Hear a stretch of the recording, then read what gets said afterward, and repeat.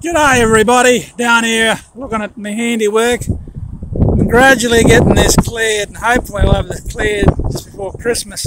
But You can see on the ground here where I've been bloody uh, chipping away at these devil devils, having a beer here, chipping away at these devil devils and getting a flat a bit more, making into a little bit of a nice little parkland and a place where I can come down and have a, a beer in the afternoon in the cool.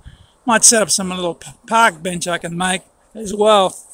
Now, it's really enjoyable down here and it's quiet too. That's what I love. And you I like watching the wildlife sneak up on you through the wallabies and our little Bambi friends, deer, when it gets a little bit wetter. But I'll have to walk down here. I don't have to. I don't think I'll be able to drive me old Landy down here. But no, it's nice and peaceful every afternoon, especially hearing the breeze rustle through the trees.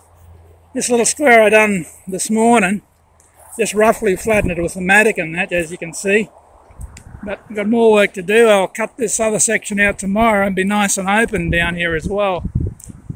No worries, hope everybody. And this whole rig behind me, my old Landy, has been a bloody godsend. I've been using really as a bloody caterpillar compactor to make tracks and flatten the grass. And when we get a bit of rain, it flattens the bloody, those lumpy clods there called devil devils as well. No, she's a great little workhorse. Ford New Holland 7030 tractor would be nice for that four tine or five tine ripper setup. Little D5K days, it's terrible win the lotto. No worries everybody, I'm just gonna enjoy a few beers down here, a couple of beers, only Great Northern Zero, it's non-alcoholic. just taking the, the cool air, nice cool breeze and just sounds of the scrub. No worries everybody, thanks for listening. Oh, mango trees.